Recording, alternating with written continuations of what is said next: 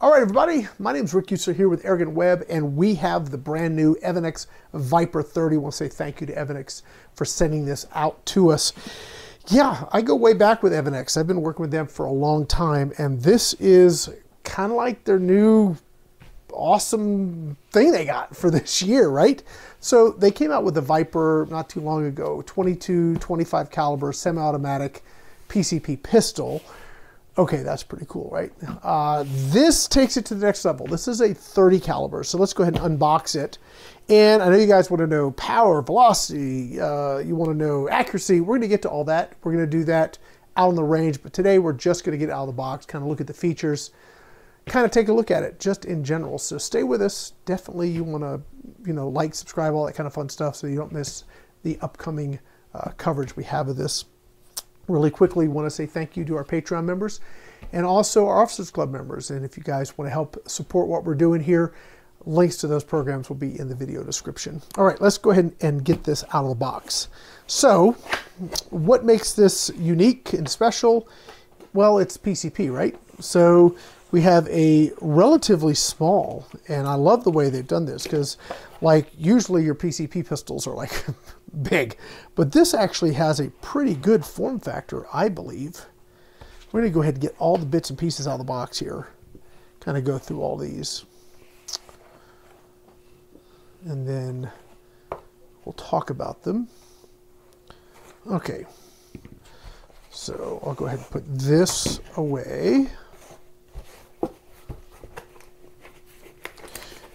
All right, so obviously there's your manual. If you are, even if you're like, like you think you're super familiar with uh, PCP air guns, you know, everyone's a little bit different. You'll do yourself a favor looking at the manual. One of the things for sure with this is that there's an operational pressure range. And if you drop below that, gun's not going to work right. And you don't want to jam it up. You don't want to damage the gun. So stay within that operational range. And really that's between 250 bar and 100 bar. So if you go outside that, you're going to find yourself maybe double feeding. Well, maybe not double feeding, but it's not going to latch back. It'll probably burp if you've ever been on, if you've ever played paintball or something. When you run low on CO2, there's not enough pressure to, to set the sear again, and it'll burp. It'll go like that. This will do that if you drop below that low pressure. So don't let your gun fall below that, and you'll be fine. It does have uh, hammer spring adjuster back here. So if you're playing with this trying to get more power, you may reduce shots. So definitely pay attention to the gauge. They've got the gauge on the side here, which is cool. Pay attention to this. Do not drop below 100 bars. So I just want to emphasize that uh, a lot. So the feel of the gun is very, very nice. The form factor is great. They've done a good job, just some generic open sights at the top. They're not adjustable. But you know, if I was shooting between here and I don't know, that fan over there, which is maybe 15 feet or so, uh, combat grouping should not be a problem with these open sights. They're pretty decent. They're up high enough above the rail so that I think they're going to be fine. Now, the way you cock this is you grab the slide, pull it back, make sure we're on safe. Uh, now, if you notice the bolts missing, or the bolts slid back, not missing, the bolts back. This fires from the open bolt position. So if we were to grab a magazine and drop it in, okay, so when we fire, this doesn't move, but what happens is that pellet pusher goes forward, fires, comes back, goes forward, fires, comes back. So it's fires from the open bolt position. That's why if your pressure drops, it may not cock back and you'll get that bounce on the valve. So you don't want to do that.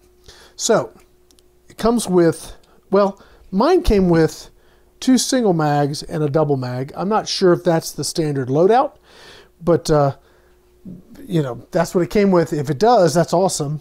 We got five shot magazine, so it comes with two of those and then the double. And the double's cool because if you're in a hurry, bang, bang, bang, bang, bang, bang, bang, bang, bang, bang, you're set. You can maybe get 10 shots off pretty quickly and not have to fumble around with a magazine. I think that's pretty cool.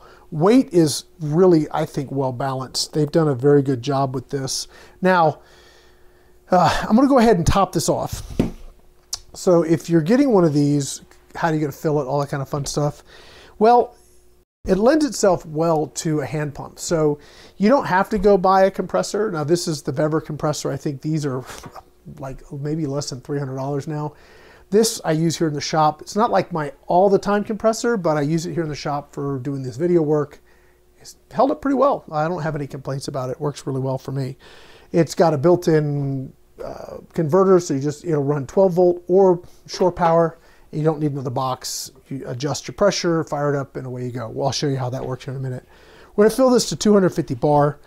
Uh, we're gonna kind of hear it. I, I can't, I would love to say, these are my dB readings on loudness because I want to actually put the moderator on it. I let you guys, maybe you can hear the difference on the mic. I don't know if you will or not.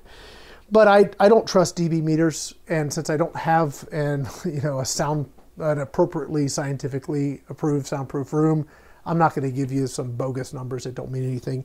I can kind of tell you like how I think it sounds and maybe that'll be useful to you. But I'm not going to give you dB numbers because they don't, they won't mean anything. All right, let's go ahead and plug this in. To step around over here. Okay. Turn this on. Fan going. Okay, so we'll hook this up and we're just to top it off just so you guys can see how this works.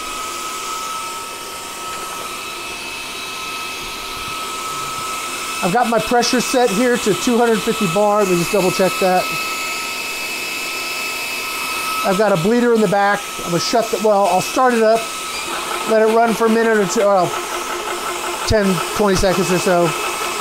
And then I'll go ahead and shut the bleeder. Now I'm putting air in the gun.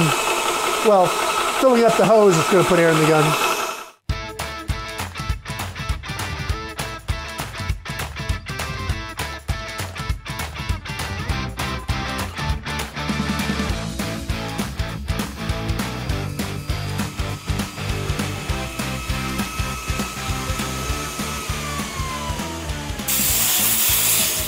Okay.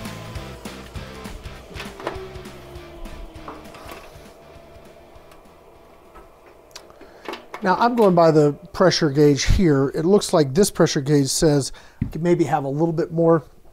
I don't know which one you'd want to go by. Um, anyway, we're just going to leave it like this. Uh, I think would probably trust the gun. Let's just say we'll trust the gun. But this looks like uh, I can get just a little bit more. I'm not quite at 250 according to this gauge. Anyway, let's see what it sounds like, right? So uh, we'll go ahead and cock it. Again, this is unloaded. I've already tested all of that fun stuff. Now let's just hear what it sounds like. So this is 30 cal PCP unregulated. That's got some bark to it. Um, let's see what it sounds like with the moderator. Okay, so this moderator come it came in the box. It actually has baffles, which are pretty cool. I don't know if you guys can see those. Uh, I kind of show it. Yeah, see the see them up there. Maybe you can, I don't know. Maybe you saw them. I don't know. but it's got baffles, so it's not just a hollow tube. It's actually got some baffles in it, which is pretty pretty nice. It's not one half UNF threaded, so it's bigger. So this matches this, and I don't know. I mean, I've tried a couple other moderators. Uh, I don't know what the thread is, so forgive me for that. But it comes with this one, and let's see if it's got a takes the edge off a little bit. Safety. Definitely takes the edge off, and I think if I was running pellets, it would definitely make it another make another difference because I think it's going to make it a little bit quieter. It's still got a little bit of a bark to it, uh, but it's more of a high-pitched crack now than that thunderous kind of thud. I'm going to try one more time here. Okay, trigger is super nice, by the way. Let me take this off here. We got a cow outside. there are. They're searching for water and food out here, open range. Okay, so now we're going no moderator, definitely louder. Yeah, definitely louder. I'm not going to shoot it anymore. Um, but there you go. That is just a basic on the Viper. Now, what does it come with? It comes with a magazine, comes with the moderator, it comes with a fill port if you need this. Sometimes, I mean, nearly everything today is that Foster quick disconnect. So I don't know, you shouldn't need that, but in case you have an old hand pump that just has the thread and doesn't have the fitting, you've got the fitting. And then it comes with some O-rings in case you need to rebuild it or replace the breech seal. One of the things with the semi-autos that I would do is keep some silicone uh, oil, like pure silicone oil, and keep your probe lubed. And I think under here, they've got this pretty well greased, as you guys can see. But I would be more concerned about that pellet pusher right there. You guys can see it there, and I'll have it up top here.